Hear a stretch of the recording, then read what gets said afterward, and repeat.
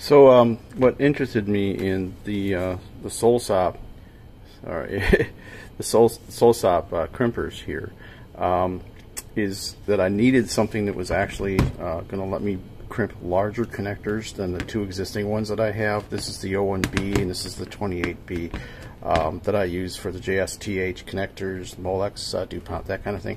Um, and I wanted something that you can see that it's actually a much larger crimper, so I can connect larger, uh, I can crimp larger connectors. Um, the the photos, the images on the uh, Amazon listing, don't actually show uh, how the how the jaws how the jaws work and how you can put things in the jaws. So I just wanted to show you how this works. Uh, the block that's in there, I don't know if you can see the block, uh, has a little, it's like a little ball bearing. It's almost like a, like a socket or a, like a socket wrench that has a little, I don't know if you can, the, the phone would actually show this um, in there.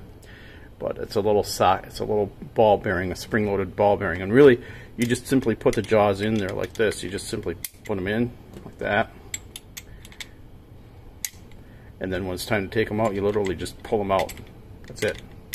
Spring-loaded ball bearing on a block in the jaws. And uh, they work good. Um, I think I saw somebody saying that they weren't pleased with uh, with how well they stayed in with some of the other ones. Yeah, I think it was some of the other other crimpers. I'm pleased with these. I've made some crimps, um, and uh, they work they work well.